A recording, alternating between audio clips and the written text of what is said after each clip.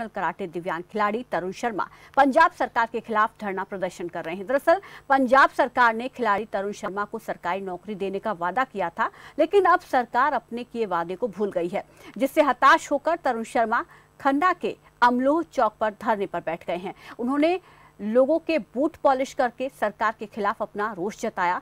तरुण शर्मा ने सरकार को चेतावनी देते हुए कहा कि अगर सरकार ने उनकी नहीं सुनी तो वो इसी चौक पर आत्मदाह कर लेंगे। ਦੇਖੋ, ਆਮ ਆਦਮੀ ਦਾ ਬੇਨਤੀ ਕਰ ਸਕਦਾ ਪਾਵਰਫੁਲ ਲੋਕਾਂ ਨੂੰ ਔਰ ਇਹੀ ਕਹਿ ਸਕਦਾ ਕਿ ਜਾਗ ਜਾਓ। ਜਾਗ ਜਾਓ, ਨਹੀਂ ਤਾਂ ਇਲੈਕਸ਼ਨ ਵਾਲੇ ਸਾਲਾਂ ਦੇ ਵਿੱਚ ਇਹ ਜਨਤਾ ਬਹੁਤ ਕੁਝ ਦਿਖਾ ਦੇਗੀ। ਸਭ ਕੁਝ ਨਜ਼ਰ ਆ ਰਿਹਾ ਵਾ। ਪਬਲਿਕ ਨੇ ਅੱਖਾਂ ਤੇ ਪੱਟੀ ਨਹੀਂ ਬੰਨੀ ਹੋਈ।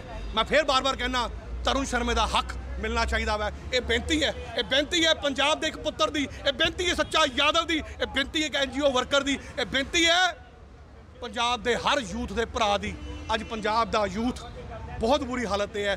ਕੌਣ ਦੁਬਾਰਾ ਖੇਡਾਂ ਵੱਲ ਜਾਊਗਾ। ਕੌਣ ਨੋ ਨੋ 골ਡ ਮੈਡਲ ਲੈ ਕੇ ਆਊਗਾ, ਜੇ ਤੁਸੀਂ ਨਹੀਂ ਪੁੱਛੋਗੇ। ਤੇ ਮੈਂ ਇਹ ਦੱਸਣਾ ਚਾਹਨਾ ਕਿ ਅੱਜ ਤੋਂ 4.5 ਸਾਲ ਪਹਿਲੇ ਮੈਂ ਗੁਰਕੀਰਤ, ਆਪਣੇ ਮਾਨਯੋਗ ਸਪੋਰਟਸ ਮੰਤਰੀ ਸਾਹਿਬ ਨੂੰ ਮਿਲਣ ਗਿਆ ਸੀਗਾ ਜੀ। ਜਦ ਮੇਰਾ ਮਲੇਸ਼ੀਆ ਤੋਂ 골ਡ ਮੈਡਲ ਆਇਆ, ਤੇ ਇਹਨਾਂ ਨੇ ਮੈਨੂੰ ਵਾਅਦਾ ਕਰਿਆ ਕਿ ਤੈਨੂੰ ਨੌਕਰੀ ਦੇਵਾਂਗੇ, ਸਭ ਕੁਝ ਦੇਵਾਂਗੇ। ਤੇ 4.5 ਸਾਲ ਬੀਤ ਚੁੱਕੇ ਨੇ, ਮੈਨੂੰ ਅਜੇ ਤੱਕ ਕੋਈ ਜੋਬ ਨਹੀਂ ਮਿਲੀ, ਕੋਈ ਫਾਈਨੈਂਸ਼ੀਅਲੀ ਹੈਲਪ ਨਹੀਂ ਹੋਈ।